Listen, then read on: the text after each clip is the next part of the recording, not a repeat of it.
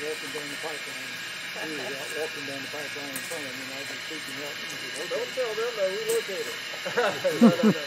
He's pipeline friendly. He is pipeline friendly. So when I picked him up, he said, okay. I'm closing up. Well, I see the ground leads to the head. You get down there, it's all up down the So, oh. you may want to have this part recorded. So I said, okay. Got some camera? Somebody just run. Uh, yes, sir. I'd like to thank President Kim Greene at Southern Company Gas for all this work. This is indeed an improvement.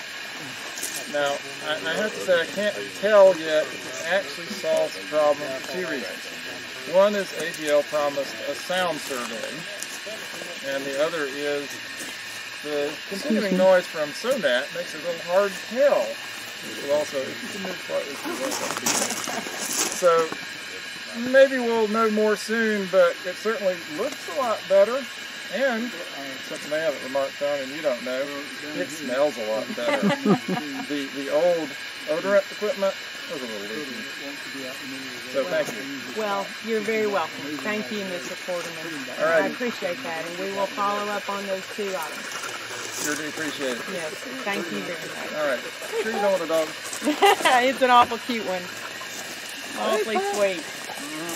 So. All right, Bryan. Well, yeah. You got the, I mean, it does help to see it, doesn't it? It, it absolutely helps to see it. I really did not appreciate how close it is to the road. Yep. Um, and uh, you know, again, it looks clean, terrific. I'm glad that the smell is better.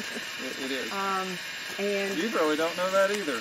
Well, I mean, I've been around old odorant, so I under- understand. I understand. And say it that uh, way. You you truly do have a state of the art station right here, and um, we'll be And taking pretty good property. care of it. Yes, How that's right. It is beautiful. And we do have the Quarterman rule now. We're assigning addresses to a lot of our rural regulator stations.